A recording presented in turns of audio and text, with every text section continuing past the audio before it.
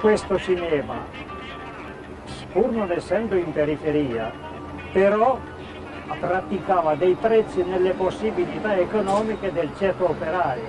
Fra questi vi ero anch'io. Lo frequentavo abbastanza sovente questo cinema.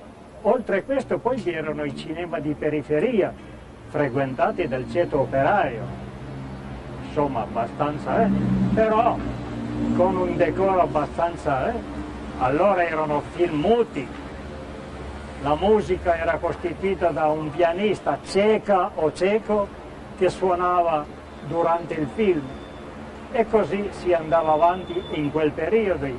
E si poteva spendere quei 15-20 soldi, anzi sì, 15-20 soldi perché a 25 soldi si pagava all'Itala, cinema Itala di Via Viotti, era già un cinema abbastanza così.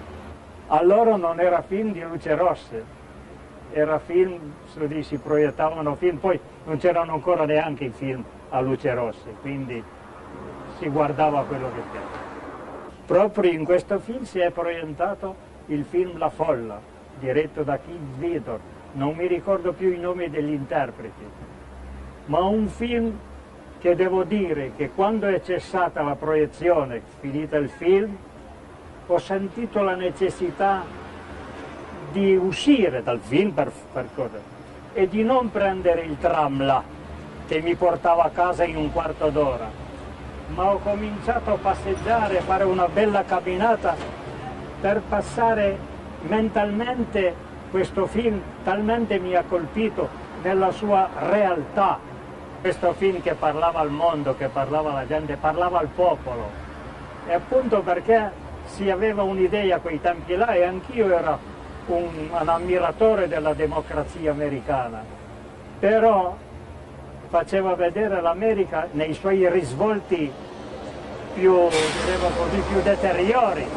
cioè l'America anche della disoccupazione, l'America dei sacrifici, l'America che sacrificava anche la donna, cioè la sposa, la madre dei figli, che si arrabattava a, cucina, a cucire a macchina, insomma, per mandare avanti la famiglia, dovuta alla disoccupazione di noi, quindi l'America che aveva anche lei la sua povertà, aveva anche lei i suoi cruci, non l'America di prendere a calci i dollari. Il ricordo continua a esserci.